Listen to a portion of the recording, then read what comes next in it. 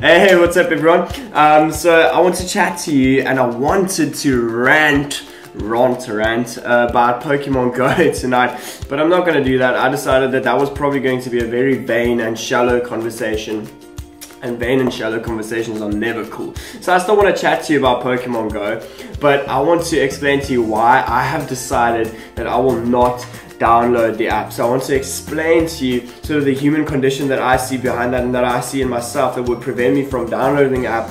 Like I drew the line and said I'm not gonna do it. But in the same breath, I want to say that I think this is probably the coolest thing since like sliced bread, the coolest thing since Gangnam Style is like who does not want to go all over the place and catch Pokemons. Um, so, so I'm just gonna jump straight into it. Um, I am going to, to read a passage from the Bible, speak about my faith, and speak about my relationships because those are two things that are very important to me. So if you're a Christian, a high five, like, what's up? Um, I would encourage you to, to just dig into what I am about to share. And if you're asking questions around faith, I'd encourage you to just stick around and hear my opinion out about faith and about Pokemon Go and this whole human situation. So I'm going to read from Hebrews 12 it's going to be three short verses and then I'm going to speak about them. So it's Hebrews 12 verse 1. Therefore since we are surrounded by such a great cloud of witnesses, this is the important part. Let us throw off everything that hinders us and the sin that so easily entangles us and let us run with perseverance the race marked out for us, fixing our eyes on Jesus. So two main things that I want to get from that. Um, and no, you might be asking the question, well, Chris, are you saying this is sin? That's not what I'm saying.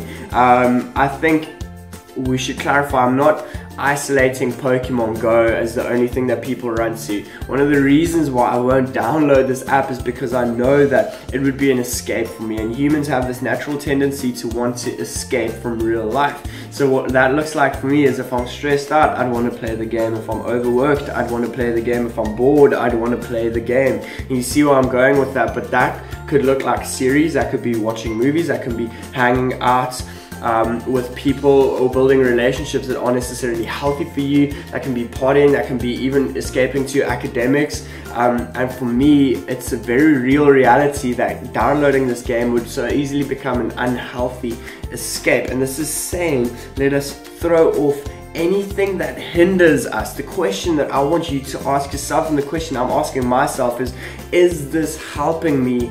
Run my race of faith? Is this helping me fix my eyes on Jesus and run towards what He has got planned for me? And if I have to ask myself that question, there's so many things where I can go in my life. No, no, no, no. And these might not be bad things in and of themselves, like watching series or hanging out with friends or playing apps and games every now and then just to relax can supplement your faith, it can supplement your relationships and really help you to relax.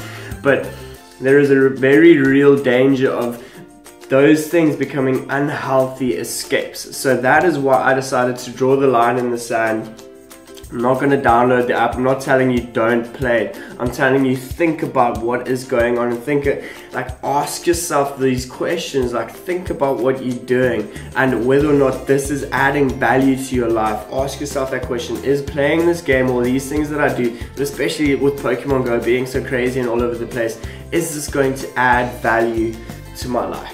That's what I want to leave you with tonight. I hope that encourages you if you watched the video until the end, like, what's up? Thank you, I appreciate the support. If you agree with me, I'd encourage you to share this video. Um, but overall, I hope that you enjoyed it and thank you for the support. So nice and loud.